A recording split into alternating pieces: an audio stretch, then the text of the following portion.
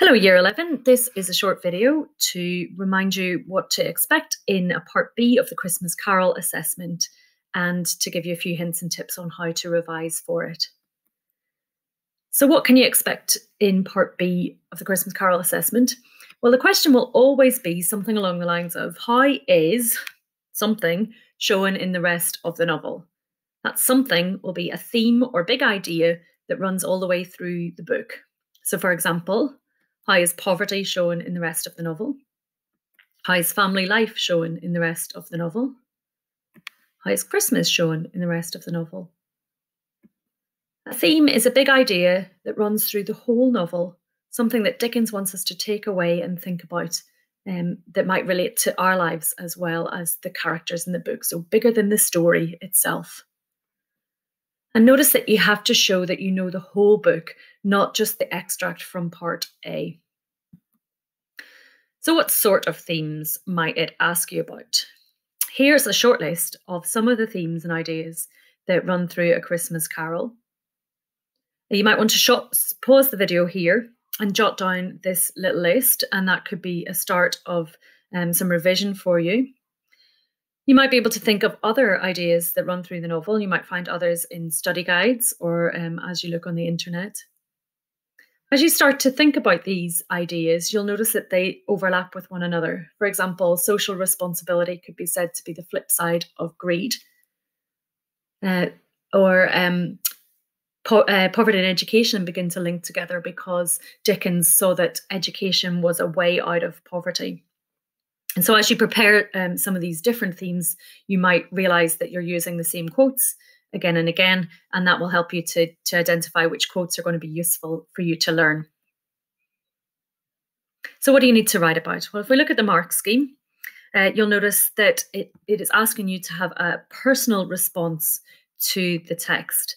Um, so down here, a, a lower level, it's saying that it's largely narrative. So that's retelling the story. So we want to go beyond just retelling the story and we want to push up here into where it talks about interpretation. So you're interpreting the text. You're saying, why are those little stories in there? Why are those characters in there? Why has that incident happened? And what does it mean to me? What did it mean to the Victorian people? And notice the reference as well to being soundly related to the text or with support from the text and higher up well chosen references to the text means quotes. So, really helpful if you can learn some quotes, bring some quotes in here, even if you don't remember them exactly word for word, but trying to paraphrase them um, and remember as much detail as you can. One way that you could revise is to prepare uh, plans for the different uh, themes that you can um, think of in the in the book. Um, this is one way that I've I, I would maybe plan. Um, so I've drawn out a grid here, um, and I'm going to try and think of three, uh, at least three, if um, four would be better, three different parts of the novel that um, relate to that theme, a quote for each one, and trying to think why Dickens, interpreting why Dickens has put that bit in there and what it tells us. So why don't you pause the video now and try a quick plan on the theme of poverty.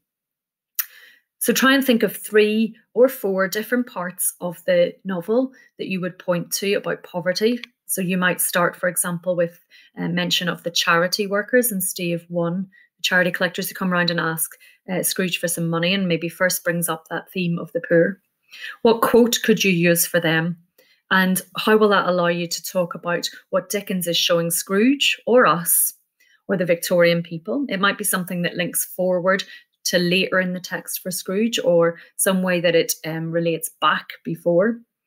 Or maybe there's a universal truth that he's showing to all readers. So even a modern reader can learn that we should look after uh, the poor members of our society, or that we should learn that maybe uh, money doesn't buy us happiness, um, and uh, through the Cratchit family, for example. So pause the video and try a quick plan uh, on the theme of poverty. Here is my plan. Um, so I would start off by looking at the Cratchit family. Uh, I know a few different quotes for them, so um, I've got a few choices of the kind of detail I'm going to bring in. Um, and really, I'm trying to think why is Dickens showing us that family? Well, it's all very well to talk about the poor as a sort of mass of, of people as Dickens thinks, as Scrooge thinks of them in the first Stave. Um, but to to get stop and get to know a family like this um, in the novel allows us uh, Dickens to put a face to poverty, which really adds pathos and a lot more empathy into the the text. And I think Dickens is trying to teach everybody a universal truth that you can be happy, perhaps even happier without money if you've got family love.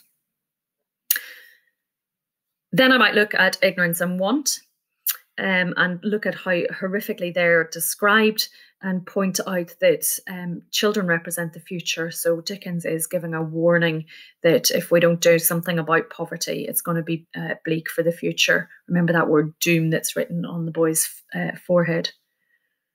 Um, we might look then in, in paragraph three at uh, Old Joe's, which is where the thieves brought Scrooge's possessions to uh, to sell them um, and look at what Dickens is showing us about the corrupting nature of poverty.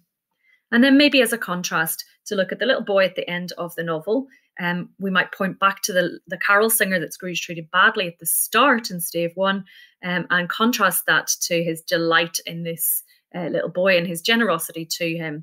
Is Dickens perhaps instructing his richer readers that they could help to point a way out of poverty, signalling hope uh, if we have a social conscience? You could uh, uh, do some more plans like this for the different themes that I mentioned at the start of the video, uh, just listing them on a page or uh, drawing out a grid like this one. And as I said, you'll start to see how you might use similar quotes for different uh, themes um, and so know which ones that you could learn. Here are a few example paragraphs from a top band uh, answer. I'll give you, you could pause the video and uh, have a read through that. Just notice as you read through it the level of detail that they remember about the text, the use of uh, short quotes that they've remembered, um, and notice how each paragraph finishes with interpretation. So each paragraph finishes with a mention of uh, either Dickens, what he is trying to do to highlight the problem, um, or um, uh, the reader's response, what they take away, maybe a shock to the readers, what a reader, how a reader responds, or how a reader interprets that idea. Try out a few plans of different themes. Notice where you're using the same quotes and have learn learn those quotes. And you could also practice the final sentence of paragraphs using the critical verbs that show that you're um, using, uh, creating a critical interpretation of the text. So always trying to finish a paragraph with uh, words like Dickens criticizes, Dickens is exposing, Dickens is teaching, Dickens is highlighting, or finishing with a reader response. The reader realizes, the reader sees, the reader understands.